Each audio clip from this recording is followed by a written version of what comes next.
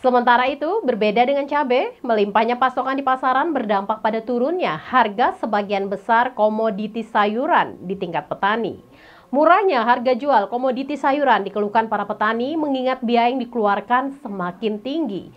Diperkirakan, harga akan kembali naik ketika pasokan dari petani berkurang.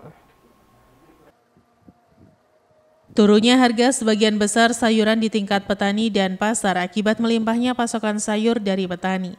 Harga turun sudah sejak satu bulanan lebih setelah sempat naik sebelum tahun baru, dan beberapa hari kemudian setelah tahun baru harga kembali turun sampai sekarang.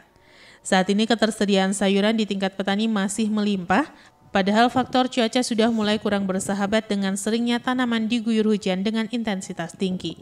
Beberapa komoditi sayuran yang harga jualnya turun dan masih belum ada kenaikan, di antaranya jenis sawi, di kisaran harga 2000-an, kubis, seledri, andewi, tomat, dan masih banyak lainnya.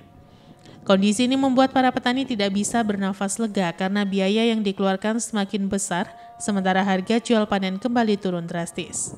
Menurut salah seorang petani di kawasan Sumberjo Batu menjelaskan, turun drastisnya harga sebagian besar sayuran salah satunya karena melimpahnya pasokan, walaupun cuaca saat ini banyak mengakibatkan kerusakan pada sayuran dan harga bisa mengalami kenaikan.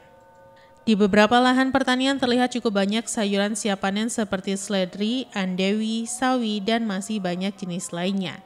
Diperkirakan apabila kondisi cuaca seperti sekarang berlangsung cukup lama, maka biasanya akan berpengaruh pada ketersediaan sayuran siap panen dari petani.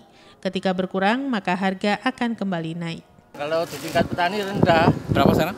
3.000. 3.000. Itu sudah agak lama kalau nggak salah ya harga turunnya?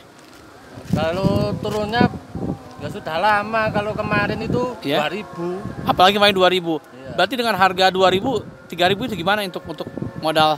Kalau modal nggak bisa kembali kalau buat 3000. 3000. Ideal. Kalau, kalau di atas 5000 masih bisa kembali. Masih bisa kembali. Iwan Hikmawan melaporkan.